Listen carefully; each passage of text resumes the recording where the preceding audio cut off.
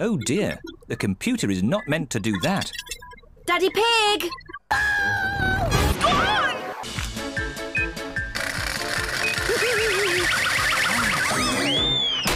It should be nothing but smooth sailing.